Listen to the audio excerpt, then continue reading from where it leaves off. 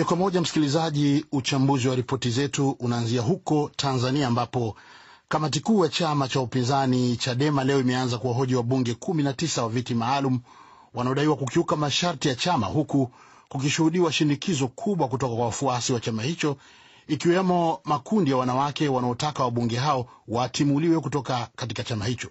George Njogopa na taarifa zaidi akiwa Dar es Salaam. Wakiwa na mabango yenye ujumbe wa aina mbalimbali, wafuasi wa chama hicho, vijana kwa wanawake, wanatuma ujumbe kwa kamati kuu inayokutana kwa dharura eneo la Bahari Bichi kuwahoji na kisha kuwajadili wabunge hao. Wanachama hao ambao nyakati za asubuhi walikusanyika katika makao makuu ya chama hicho eneo la Kinondoni, wanataka kamati kuu isipepese macho wakati ikiwajadili wabunge hao, na wanasisitiza kwamba kuwaondolea wanachama wao ndiyo suluhu pekee ya kukinusuru chama hicho.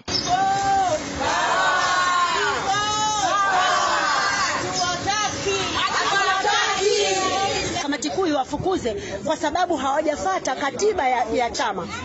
Chama kilisema kwamba hawapeleki watu na utaratibu wa viti maalum anayeshughulikia ni katibu mkuu wa chama, lakini hawa, katibu mkuu hajashughulikia hilo swala. Hiyo mimi nasema wafukuzwe kwa sababu hawajafata utaratibu wa chama, wamekiuka. na waondoke kabisa, wasaliti wakubwa. Kamati kuu wanavyoenda kukaa, hawa watu si watu, hawafai, hawatufai, na ndio maana tunashindikiza kuwa hawa watu hawafai, hawafai, wafukuzwe na waondoke, hatuwataki kama baraza la wanawake. Maoni wanachama hao yanazidi kukoleza mwito uliotolewa na mabaraza ya wanawake kutoka wilaya mbalimbali, waliotoa tamko kuraka wabunge hao wawekwe kando ndani ya chama hicho. Mbali ya wanawake kujitokeza hadharani kuweka msimamo wao, kadhalika makundi ya vijana nayo pia yameonekana kuchukua msimamo wa aina hiyo hiyo. Baadhi ya vijana hao walijitokeza katika ofisi za chama hicho, walionekana wakiwa na mabango, mengine yakiwa na ujumbe ulioandikwa kwamba kamati kuu, fukuzeni hawa COVID 19. Msimamo wetu kama vijana wa, wa wilaya ya Kinondoni tunasema watufukuzia watu, hatuwahitaji. Katika eneo la Bahari Bichi nje kidogo ya jiji la Dar es Salaam, wajumbe wa kamati kuu wamejifungia wakiendelea na mkutano wa kuwahoji wabunge hao ambao wanadaiwa kwenda kinyume na msimamo wa chama. Kikao hicho ambacho kinatupiwa macho na wengi ndicho kitakachoamua hatima wabunge hao kuendelea kusalia ndani ya chama au la. Duru za habari zinasema kwamba kuna uwezekano huenda wabunge hao wakavulia wanachama, hatua ambayo inaweza pia ikaanzisha mvutano mwingine wa pande zinazowaunga mkono wabunge hao na wale wanaopendelea kuona wanawekwa kando.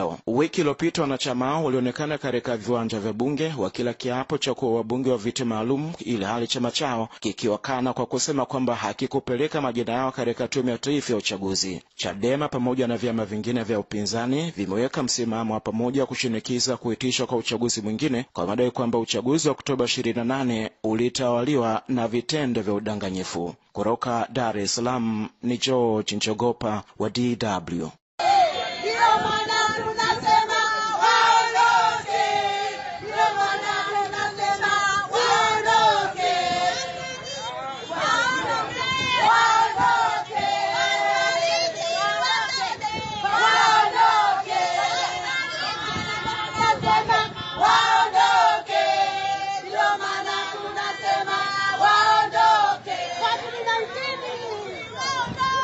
Diwani niliyemaliza muda wangu jimbo la Kibamba na niligombea ubunge viti maalum kwa jimbo la Kibamba. Kwa hiyo mimi ni miongoni mwa wagombea ubunge wa viti maalum. Tukio hili ambalo limetokea kwa wenzetu na hasa lililoongozwa na genge la mwenyekiti wetu limetuhuzunisha kama wanawake sana, kwa sababu Halima tulikuwa tunamwamini na viongozi wengine wote ambao walikuwepo wote tulikuwa tunawaamini. Bahati mbaya sana kwamba ni kamati nzima ya chama, kwa maana ni sekretarieti yote ya Bawacha waliotufanyia uasi wa hizi. Kwa kweli mioyo yetu imeumia, mioyo yetu ime, imejeruhiwa mioyo yetu inavuja damu sana kwa yale waliotutendea. Hawajatutendea wanawake haki kabisa. Halima sio mtu wa kuondoka kinyemera kwa mlango wa nyuma kwenda kujiapisha bila idhini ya kamati kuu. Ni dharau kubwa aliyoionyesha kwenye chama. Siwezi kuelewa kama anajiona yeye ndio chama na chama ndio yeye, kwa hiyo ana maamuzi yoyote ambayo anataka ayafanye yeye lakini mimi niseme hivi, hajatutendea haki wanawake, hajatutendea haki chama, hajawatendea haki wananchi, wanawake wa Tanzania na wananchi wote ambao wameamini chama cha Chadema ndio chama mbadala kwa wananchi, ndio ambacho ndio kama ndio, ndio, ndio chama ambacho wanakitegemea katika ukombozi. Hajatutendea haki kabisa. Labda una unashauri kitu gani kifanyike kwa huu ulioitwa uasi? Kwa huu wito hakuna hakuna mjadala. Mwasi ni mwasi, mwovu ni mwovu, na kama amethubutu kufanya haya aliyofanya, wasipofukuzwa, ina maana hata wengine wanaweza wakafanya kama hivyo, watafanya kama yeye na watasema mbona hawa, wengine hawakufukuzwa. Sisi tunacho tunacho tunachoishauri kamati ni kwamba yani, kamati kuu isipepese macho wala isiogope mtu, kwa sababu hakuna mkuu wala hakuna mkubwa kuliko chama. Chama ni kikubwa kuliko, kuliko, kuliko mwanachama. Halima ni mwanachama tu, na mpaka amefika pale ilipofikishwa ni chama kimemfikisha. Na mgombea wa urais wa chama cha NUP katika uchaguzi ujao wa Uganda, Robert chiagulanyi maarufu kama Bobi Wine amelazimika kulala ndani ya gari lake jana baada ya hoteli zote katika eneo alilokuwa akifanya kampeni kukataa kumpokea. Hayo yanajiri baada ya hiyo jana mwanasiasa huyo kutimuliwa na polisi katika studio za redio moja wakati kipindi alichokilipia kilipokuwa kikirushwa hewani. Kutoka Kampala, mwandishi wetu Lubega Emmanuel anaarifu zaidi.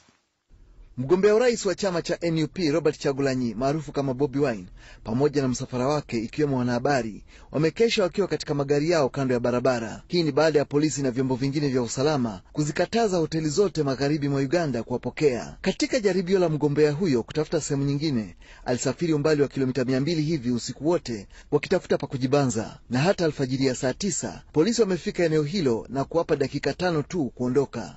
Bobi Wine amesema I was not able to rest. I did not have supper. Sikuweza kupumzika, sikupata chajio wala sikuoga baada ya siku ndefu ya kampeni, na naomba Mungu anipe imani na utulivu kustahimili hali hii. Situation. Mgombea huyo ambaye hapo jana Alhamisi aliondolewa kwa lazima kutoka kituo kimoja cha redio dakika tatu tu baada ya kuanza kipindi alichokuwa amelipia, amewahimiza wafuasi wake wabaki watulivu na wasishiriki katika makabiliano yoyote na vyombo vya usalama licha ya madhila hayo yote. No Haijalishi ubaya tunayotendewa, hatuko tayari kulipiza kwa ubaya. Tumewaachia polisi wafanye kazi yao vile wapendavyo. Wagombea wengine nao wamekumbana na unyanyasaji sawa na huo, wakitatizwa na vyombo vya usalama katika kampeni zao. Hata kijana John Katumba mwenye umri wa miaka ishirini na mitano alikatazwa kula chakula mji wa Jinja hapo jana. Mgombea wa chama cha DP Robert Mao ametoa kauli hii kuhusu hali wanayokumbana nayo.